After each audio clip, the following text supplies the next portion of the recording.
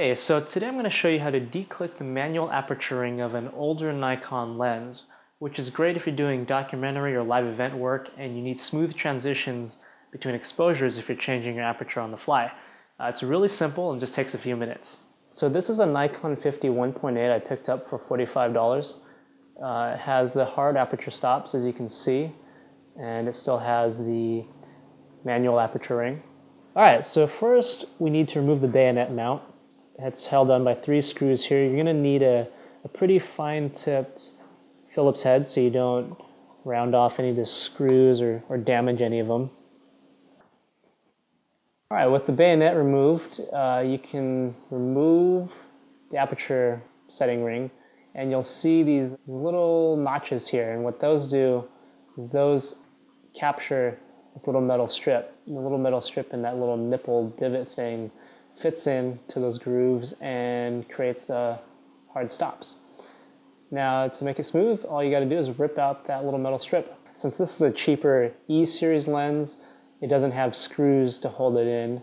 Nicer AI and AIS lenses, you can actually take it out and put it back in if you like.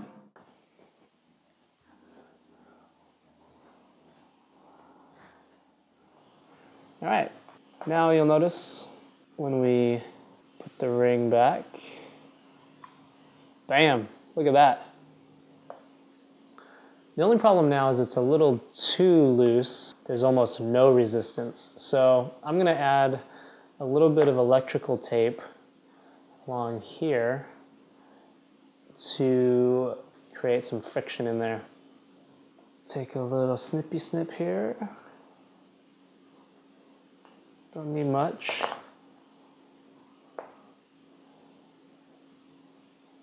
Apply like so, just along the side.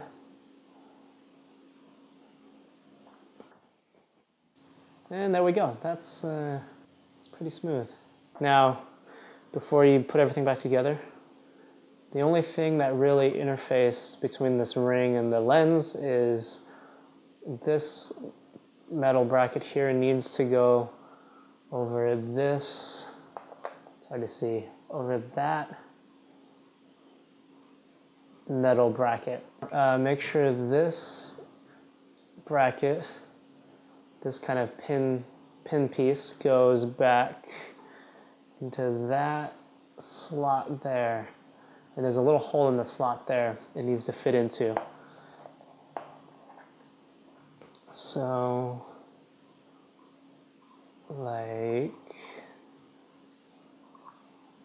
so.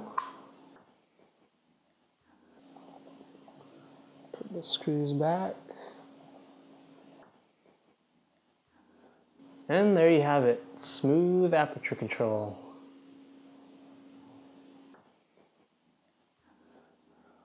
And just as a comparison, here's the Canon 50 1.8